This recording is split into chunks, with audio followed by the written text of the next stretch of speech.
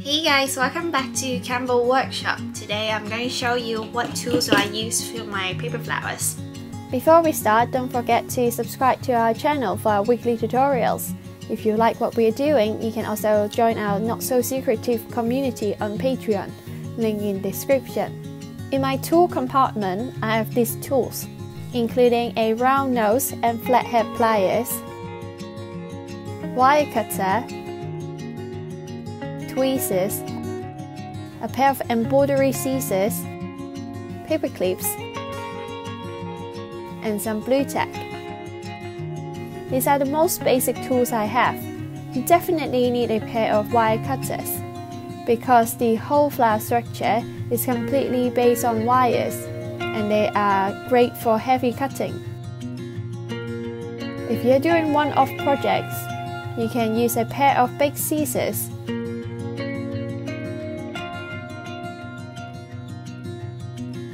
or even some pliers have a mini cutter at the back. That will be much better to cut the wires and not damaging your scissors. A pair of flathead pliers is great for shaping wires, like a loop on the wire, so the paper are less likely to slip away. They allow you to bend the wires more precisely. You might also ask, why do I need a round nose pliers? It is for a more refined loop bending commonly used for jewelry making. I use them a lot to make flower centers and pollens. I try my best to use less variety of material as possible, so you don't need to buy more than wires and paper.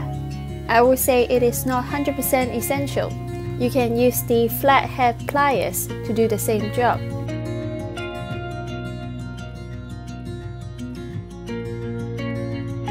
My pair of scissors is very popular brand for embroidery. The pointy tip is very helpful to cut precisely and easier to control than the bigger ones, especially cutting tiny petals.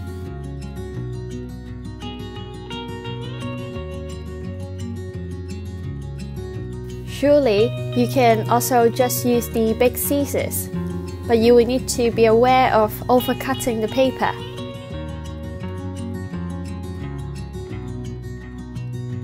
Paper clips which I've mentioned before how I use them in the 5 tip tutorial. If you're interested, you can check that video out as well. Next, Blu Tack. You don't 100% need it. I use it normally for filming, so my flowers stands straight. It is reusable when stuck on the table or the flower. No smell and clean. I've seen some green and white ones as well, basically the same thing you can get it from any stationery shop. Last but not least, my beloved tweezers. Tweezers are basically my another pair of hands. My tweezer is a precision tweezers for beauty or even electronics. Once you are familiar with yours, tweezers can hold the material much better than your fingers. Curl the petals, bend it. I think it's much better than fingers. For those who can't fit in my box, I also have a pair of big scissors, paint brushes in different sizes, and a hot glue gun. Paint brushes are not only for coloring, but we also use it for curling petals in various situations. Obviously, you can also use pencils or pen that you can find in your house to do the same job.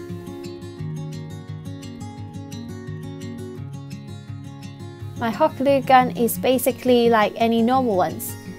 It has a stand and a switch.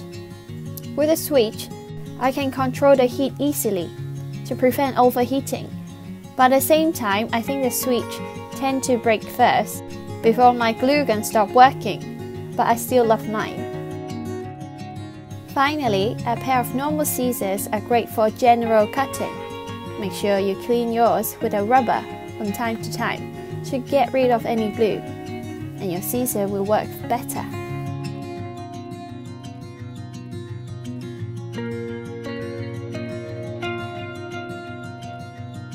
Thank you for watching the video and I hope you will find this video helpful. If you like it, please don't forget to like, comment and subscribe to our channel. It will really help our channel to grow. Stay tuned for our weekly tutorials. And all of our DIY kits, templates are available on our website. Check them out as well. See you guys next week.